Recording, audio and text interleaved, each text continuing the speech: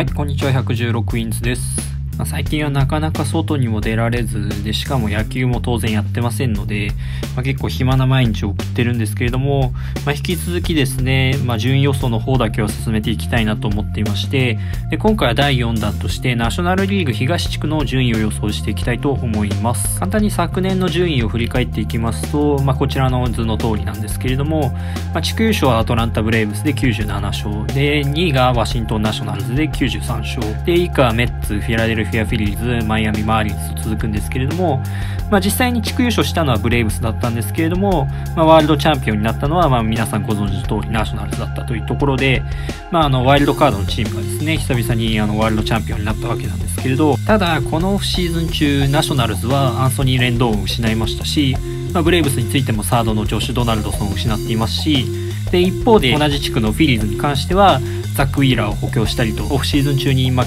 あの動きもありましたので、まあ、多少ですね地区の勢力図も変わってくるのかなというところも、まあ、あるとは思うんですけれども、まあ、次からですねナショナルリーグ東地区が今年どうなっていくのかというところを予想していきたいなと思います。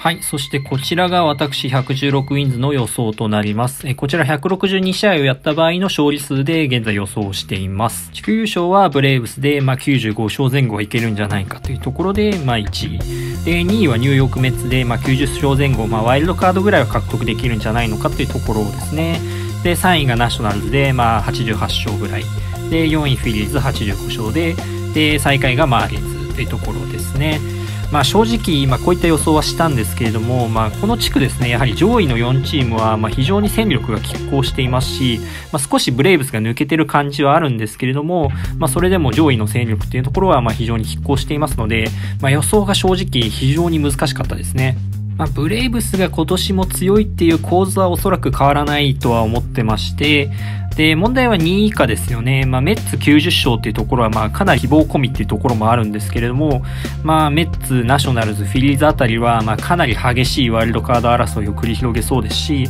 まあ、場合によっては地区優勝争いにも、まあ、十分食い込んでくるようなチームたちだと思いますので、まあ、ちょっとですね、あの、ナショナルリーグ東地区の、あの、戦いっていうのは、まあ、今年かなり注目して見ていきたいなというところですかね。で、この4球団の争いから唯一ですね、蚊帳の外になっているマイアミ・マーリンズに関関しては、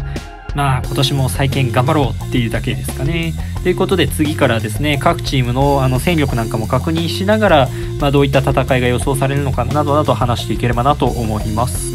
はい、まずは地区優勝として予想したアトランタブレーブスから見ていきたいと思います。ブレーブスのデープスチャートを見て抱いた印象というのが、まず非常にバランスのいいロースターだなというところですかね。まあ、打線は、まあ、今回オフシーズン中にマーセロ・ーズーナと、あとはトラビス・ダーノを獲得しているんですけれども、まあ、彼らの加入によって、まあ、打線は非常に切れ目がない印象ですし、まあ、ちょっとあの、ドナルドソンは抜けてしまったんですけれども、まあ、オズーナだったり、ダーノの加入によって、まあ、その、ドナルドソンの打撃の穴っていうところは、まあ、おそらくそこまでは感じないのかなというところですかね。で、ドナルドソンが抜けたサードに関しては、まあ、ヨハン・カマーゴと、あとはオースティン・ライリーが、まあ、埋めていくことにはなると思うんですけれども、まあ、この2人がですね、どれだけドナルドソンの穴を埋められるかっていうところは、まあ、一つポイントになってくるのかなというところですかね。カマーゴに関しては2018年にホームラン19本打ったっていうところも、まあ、ありますので、まあ、ちょっと去年はですね、あの、あまりいいシーズンとは言えないんですけれども、まあ、18年ぐらいの水準で、まあ、カマーゴが活躍してくれれば、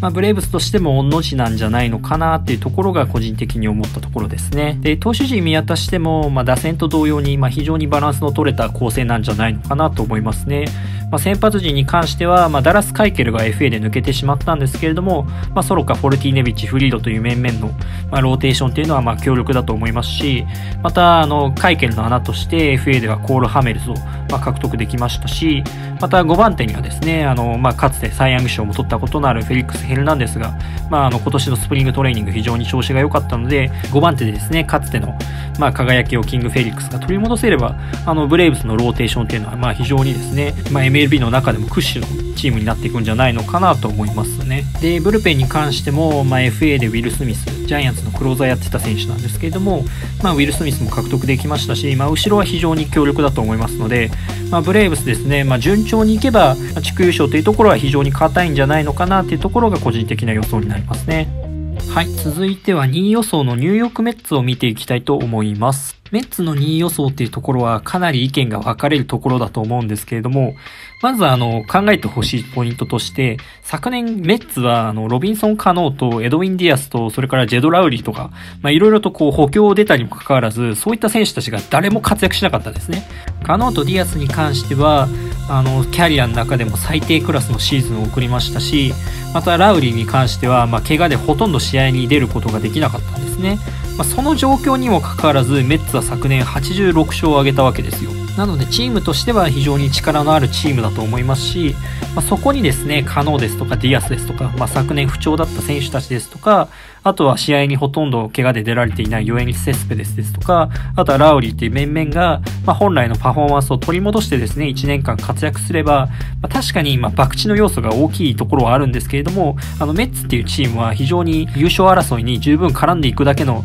あの、力があると個人的には思ってるんですね。なので私としてはメッツ今年非常に楽しみにはしているんですけれども、まあ、ただ懸念点を挙げるとしたら、まあ、投手陣ですよね。まあ、ザック・ウィーラーが FA で抜けて、で、さらに先日ですね、ノア・シンダーガードが、まあ、トミー・ジョー手術を受けるということになりましたので、まあ、ちょっと先発が苦しいなという印象ですね。まあ、デグロム、マーカス・ストローマンというところの、まあ、2枚看板というところは、まあ、非常に悪くないと思うんですけれども、まあ、3番手以降ですね、まあ、ポーセロ、ワカ、マッツっていうところがですね、まあ、どれだけ踏ん張れるかっていうところが、がまあ、メッツの戦いを左右するんじゃないのかなっていうところが、まあ、個人的に思ったところですね。まあ、私はメッツファンでも何でもないんですけれども、まあ、なんとか今年のメッツにはですね、ぜひ90勝ぐらいして、まあ、ワイルドカードでポストシーズンに進んでほしいなっていうところが、まあ、個人的にちょっと期待しているところですかね。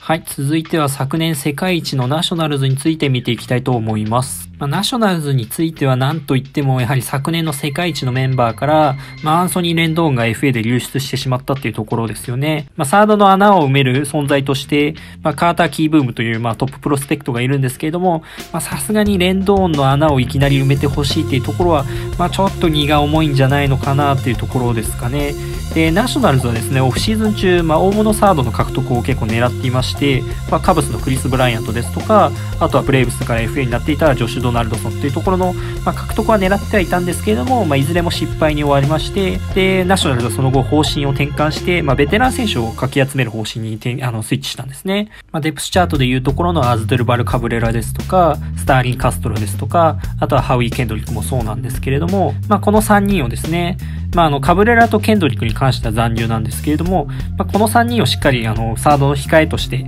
まあ、あの、用意しておいて、まあ、キー部分がもしですね、ダメだったとしても、まあ、この辺のベテラン陣でしっかりとチームは回せるだけの、あの、準備はしてきたというところになりますね。で、投手陣は、あの、ストラスバーグが FA になっていたんですけれども、まあ、彼も長期契約で引き止めて、で、ほとんどですね、昨年とメンバーは変わっていなくて、まあ、むしろですね、ブルペンにウィル・ハリスが加わって、あのむしろ昨年よりかはあの多少強力になったんじゃないのかなというところで、まあ、チームとしてはあの昨年と同レベル程度の戦いはおそらくできそうだとは思うんですけれども、まあ、ただワイルドカードとそれから世界一連覇っていうところは、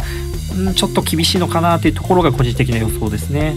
はい、続いてはフィラデルフィア・フィリーズについて見ていきたいと思います。フィリーズは今年のオフシーズンも非常に積極的に動きまして、まあ、ザック・イーラーを獲得したりですとか、DD・ グレゴリウスを獲得したりですとか、あとは新監督としてジョージ・ラルディを迎え入れたりですとか、まあ、非常に積極的に動いてまして、まあ、去年のオフシーズンもブライス・ハーパーを獲得したり、アンドリュー・マッカッチェン、JT・ リアル・ミュート、あとはジーン・セグラを獲得したりと、まあ、非常にですね、ここ2年間はあの補強に積極的に動いてまして、で、その結果として打線はかなりバランスが良くなりましたね。で、まあ、あの、ショートにですね、グレゴリウスが入ったおかげで、まあ、セグラをですね、まあ、サードかセカンドに持っていけるっていうところも、あの、チームとしてはバランスがおそらく良いでしょうし、また開幕が延期になったことで、まあ、昨年前十靭帯を断裂した、まあ、アンドリュー・マッカッチェンがもしかしたら開幕に間に合うかもしれないというところも、あの、チームにとっても朗報ですよね。そんな感じでですね、まあ、フィリーズ非常に打線は良いと思うんですけれども、まあ、このチームに関してもちょっと投手陣が不安っていう印象ですね。まあ、ザック・ウィーラーが入ったことで、まあ、ローテーションの1、2番手っていうところは、